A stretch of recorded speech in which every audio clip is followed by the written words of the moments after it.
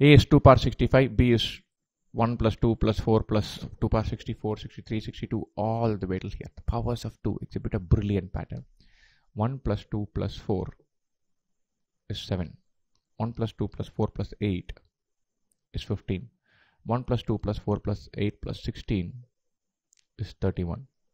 This is 2 cube minus 1. This is 2 power 4 minus 1. This is 2 power 5 minus 1. So 1 plus 2 plus 2 square all the way till 2 power 64. This is 2 power 65 minus 1. So A is 2 power 65.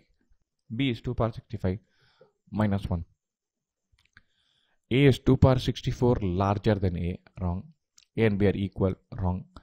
B is larger than A by 1, wrong. A is larger than B by 1, that's the right answer. It looks like you're adding 64 terms here, but they don't quite add up to this. That's the beauty of exponents. And so exponents make the numbers leap and jump and go. And so 2 power 65, a single term is way more than these 64 terms added together.